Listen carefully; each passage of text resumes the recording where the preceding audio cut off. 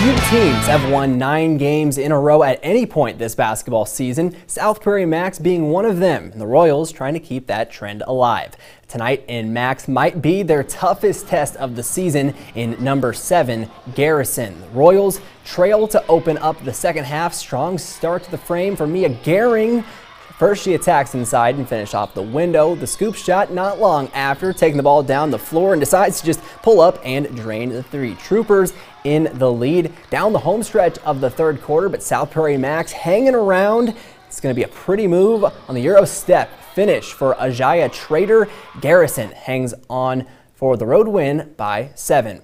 Over at DLB, it's the Lakers hosting our Redeemers in a makeup game from last week. The Knights opening up the second half up double figures. DLB cutting into that here on the three by Logan Eastos, but despite a late surge from the Lakers, our Redeemers lead proves to be too much. Morgan Thorson just finds herself open for three, knocks it down. The Knights, a big road winner. And Bishop Ryan hosting Nedrose for a battle of Minot schools. And Lions trying to hang tough with the Cardinals early. Tochi Udekwe ripping away the rebound for some instant points to follow. But Nedrose continues what's been an impressive turnaround this season, as is Lily Nelson, the finish inside. The Cardinals get the road win while Berthold protects home court over Westhope Newburg.